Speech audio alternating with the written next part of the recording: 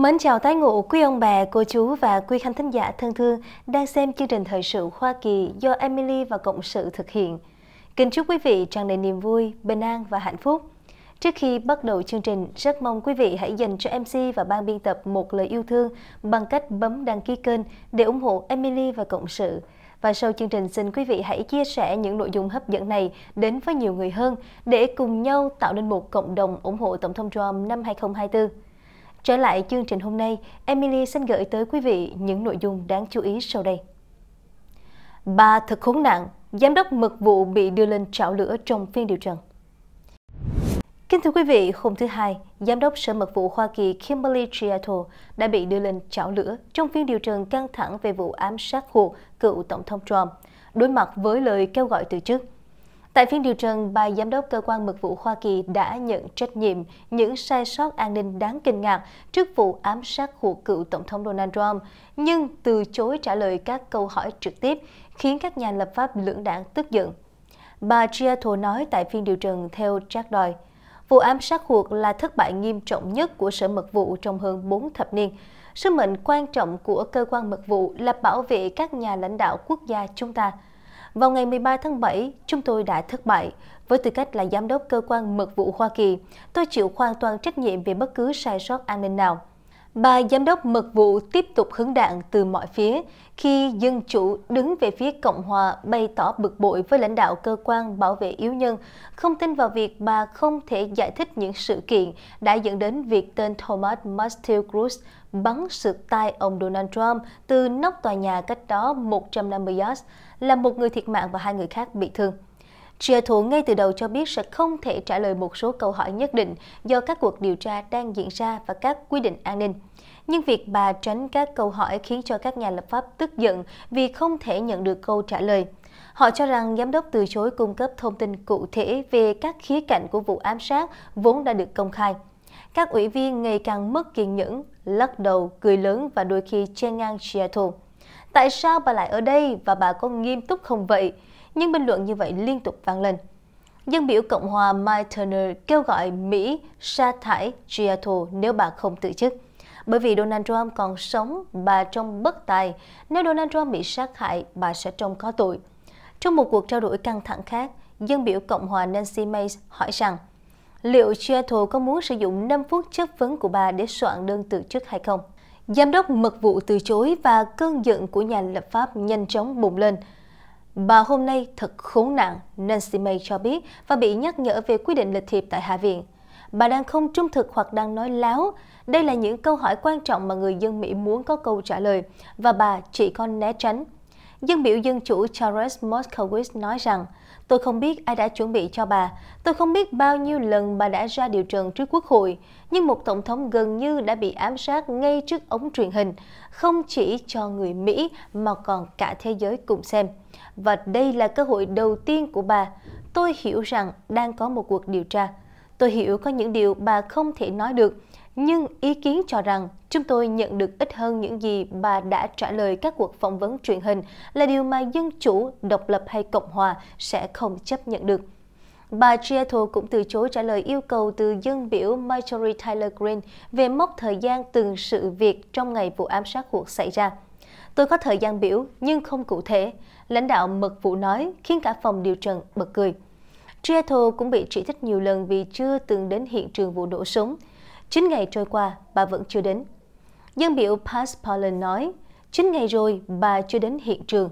Đáng lẽ bà phải xuống đó ngay trong tối hôm đó. Thưa quý vị, tay súng đến hiện trường nhiều hơn bà.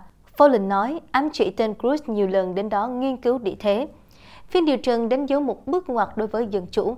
Các nhà lập pháp dân chủ bước vào điều trần với chỉ một thành viên kêu gọi Giotto từ chức, nhưng họ kết thúc với nhiều lời kêu gọi từ chức. Lãnh đạo Dân Chủ tại Ủy ban Giám sát Hạ viện Jamie Raskin tán thành lời kêu gọi giám đốc mật vụ từ chức. Tôi không muốn đổ thêm dầu vào ngày tồi tệ khủng khiếp của giám đốc, nhưng tôi sẽ cùng với chủ tịch kêu gọi bà từ chức chỉ bởi vì tôi nghĩ mối quan hệ này không thể cứu vãn vào lúc này. Raskin nói, và tôi nghĩ giám đốc đã đánh mất niềm tin của Quốc hội vào lúc rất cấp bách và đặc biệt trong lịch sử quốc gia, và chúng ta cần phải nhanh chóng vượt qua chuyện này. Moskowitz cùng với dân biểu dân chủ Ro Khanna cũng kêu gọi Seattle từ chức.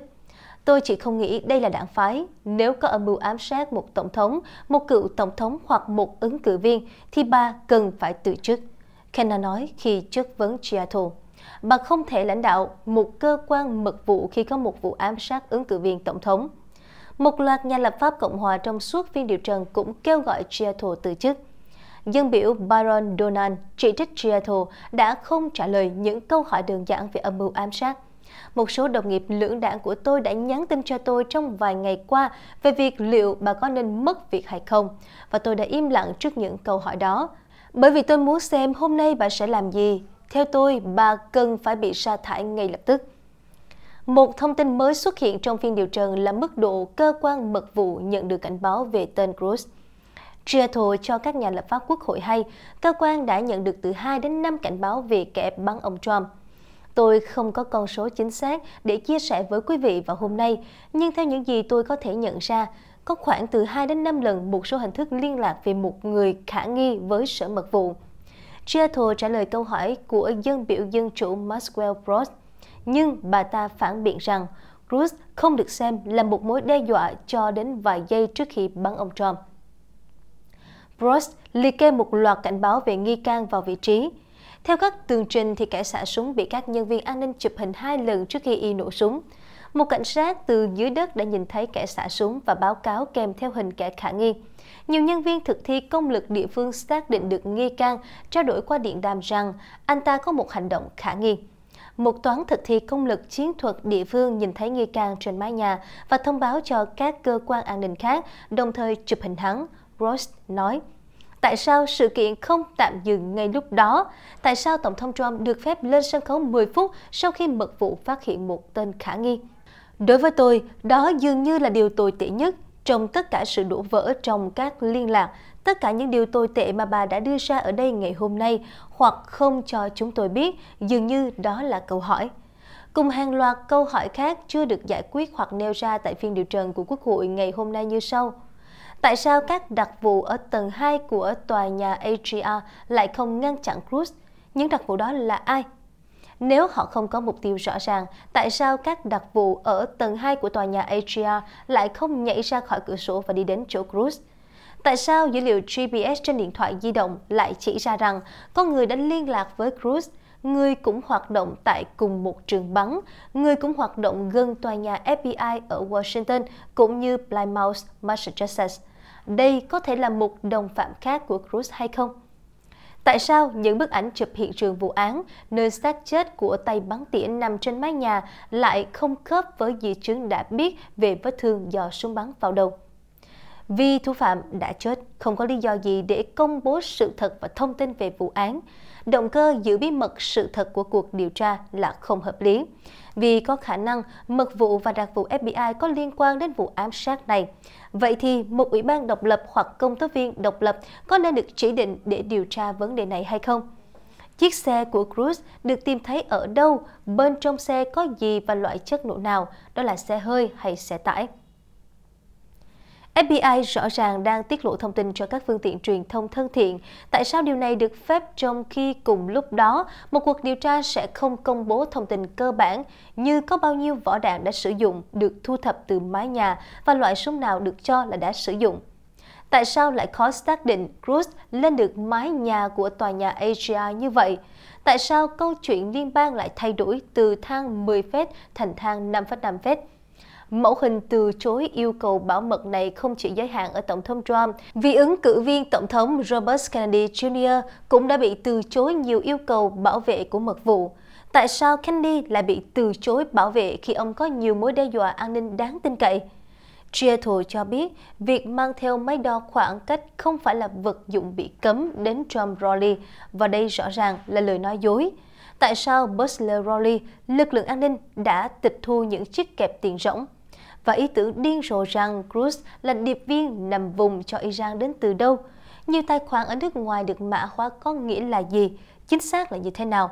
Liệu một người có 3 tài khoản email được mã hóa có cùng hồ sơ quốc tế như Cruz không? Cho đến nay, những bằng chứng hình ảnh, âm thanh và các loại bằng chứng khác nào đã được thu thập tại hiện trường vụ án và khi nào chúng sẽ được công bố cho công chúng Mỹ? Kẻ xả súng bị cáo buộc có được huấn luyện tại cùng trường bắn với các thành viên của Bộ An ninh Nội địa hay không? Có đúng là tay bắn tỉa trên nóc tòa nhà đã bị các thành viên của văn phòng cảnh sát trưởng quận Butler chặn lại ngay trước khi vụ nổ súng bắt đầu hay không? Tòa nhà, khu phức hợp và công ty Atria có phải là sở hữu của kẻ thù chính trị của Tổng thống Trump hay không? Tại sao an ninh tại cuộc meeting lại lỏng lẻo hơn bất kỳ cuộc meeting nào khác của Tổng thống Trump, nơi những người vào cửa nhanh lại vào chậm hơn nhiều so với những người vào cửa chung? Nhiều bài báo đưa tin rằng cơ quan thực thi pháp luật đã sử dụng DNA của Cruz để nhận dạng anh ta ban đầu. Có phải vậy không? Vì Seattle tuyên bố rằng công việc nhận dạng được thực hiện bằng số series trên vũ khí kiểu AR. Tại sao vẫn còn những câu hỏi về việc khám nghiệm tử thi kẻ nổ súng? Liệu chính phủ có tự tiến hành khám nghiệm tử thi độc lập hay không? Tại sao khám nghiệm tử thi không cố gắng giải thích vòng bỏng quanh gáy của kẻ nổ súng trong những bức ảnh kia? Những thông tin vừa rồi đã khép lại bản tin ngày hôm nay do Emily và Cộng sự thực hiện. Cảm ơn quý vị đã quan tâm theo dõi. Xin kính chào tạm biệt và hẹn gặp lại quý vị trong những bản tin tiếp theo được phát sóng hàng ngày trên kênh BTV Epoch Time.